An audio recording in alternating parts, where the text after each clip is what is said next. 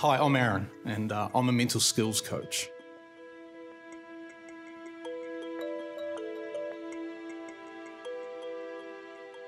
In my career, I've had the privilege of working with a lot of professional athletes who obviously undergo massive highs and lows in their work.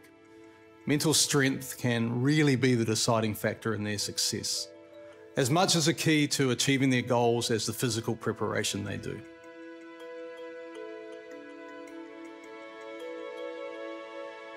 A truly formidable man.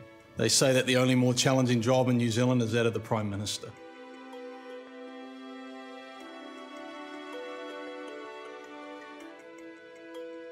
What I'm going to do over five short sessions is help you guys use the same kind of methods and skills as Sam in your own lives.